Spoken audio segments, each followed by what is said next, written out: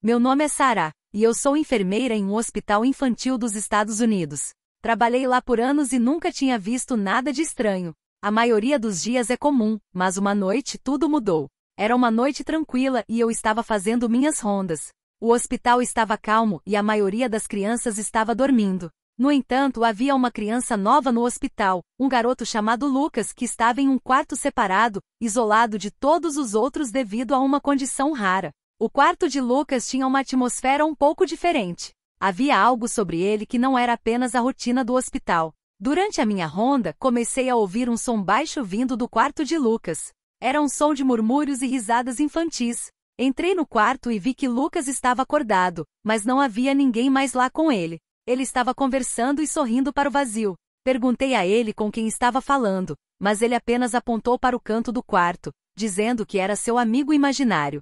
A princípio, achei que era apenas uma fantasia infantil, algo que acontece com muitas crianças. Mas o som continuou durante a noite mesmo quando Lucas estava dormindo. Eu não conseguia ver nada ou ninguém, apenas o som de risadas e conversas que não tinham origem aparente. Na noite seguinte, o som continuou, mas desta vez foi mais alto e mais insistente. Fui chamada para o quarto de Lucas porque ele estava chorando e dizendo que o amigo imaginário estava tentando levá-lo embora.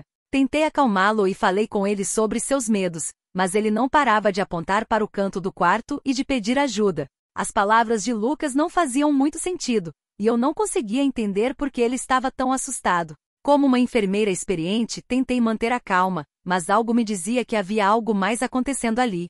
Naquela mesma noite, quando todos os pacientes estavam dormindo e o hospital estava em silêncio, decidi investigar o quarto de Lucas mais a fundo. Quando entrei, notei algo estranho. Uma das paredes parecia diferente, como se estivesse um pouco deslocada. Com alguma dificuldade, consegui abrir um pequeno espaço entre a parede e o armário que estava encostado. Para minha surpresa, encontrei uma pequena passagem escondida que levava a um espaço de armazenamento. No fundo, havia brinquedos antigos e brinquedos que pareciam estar muito desgastados, como se fossem de um tempo muito distante. Alguns dos brinquedos tinham marcas e sujeiras que pareciam indicar que haviam sido usados por uma criança há muito tempo. Decidi levar os brinquedos para fora e mostrar aos meus colegas, mas quando voltei ao quarto de Lucas, ele estava calado, e o ambiente parecia ter mudado. O som das risadas e murmúrios cessou repentinamente e a atmosfera parecia mais tranquila. A equipe de manutenção foi chamada para fechar a passagem secreta e remover os brinquedos antigos.